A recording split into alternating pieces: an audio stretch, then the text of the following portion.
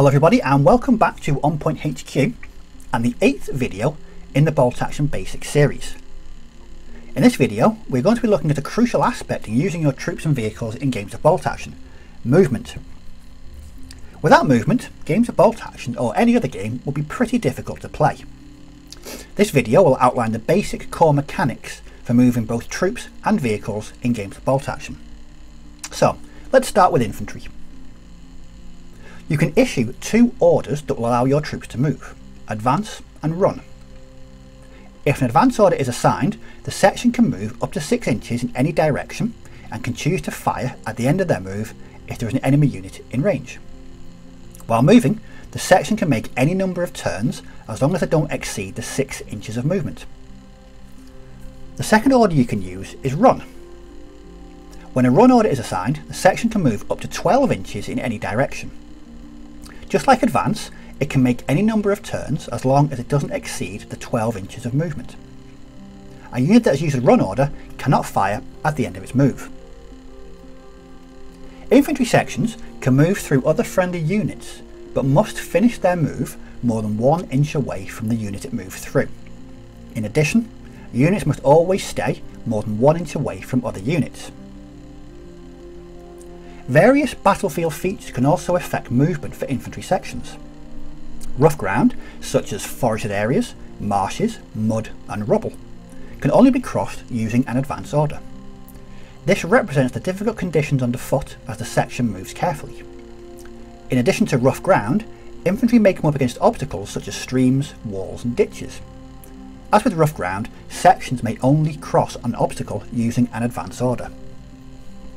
In certain scenarios, units can be kept off table at the start of a game, but are allowed to enter in subsequent game turns. An example of this is outflanking.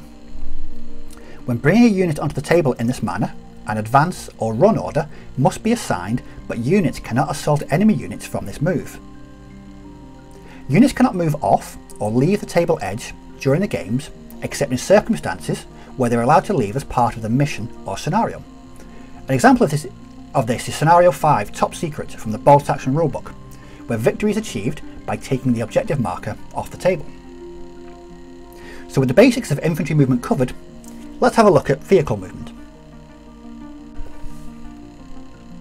As with infantry, vehicles can be moved by assigning them an advance or run order. The movement values are higher than that of infantry sections, as is their turn mechanics. Vehicles are separated into two types, tracked and wheeled.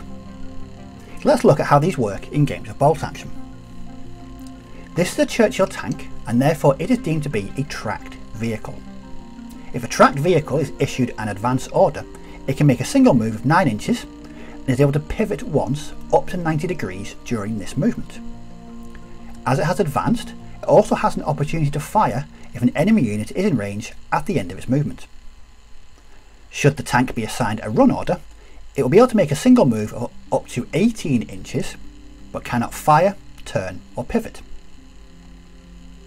This is an Opel Blitz truck and deemed to be a wheeled vehicle. Should it be assigned an advance order, it can make a move of up to 12 inches and make two pivots during this move. Should it be equipped with a weapons upgrade, it could also choose to fire. If a wheeled vehicle is given a run order, it can move up to 24 inches and make one pivot of 90 degrees during this move. It cannot fire, if applicable, at the end of its run move as per the normal rules. Now half tracks such as this, when given an advance order, can move up to 9 inches as a tracked vehicle, but can make two turns or pivots as if it were a wheeled vehicle.